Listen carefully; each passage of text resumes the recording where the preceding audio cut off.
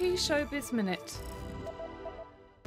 Zoe Saldana showed off what could be a baby bump at a special New York screening of her new movie Guardians of the Galaxy.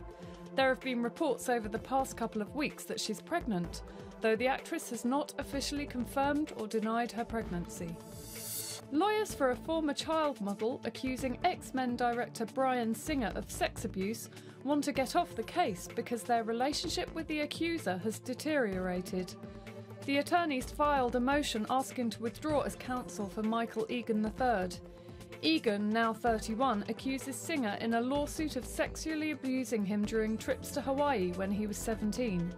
Singer has denied the allegations. Aretha Franklin's upcoming recording doesn't have a name yet, but the singer expects it to be finished in August.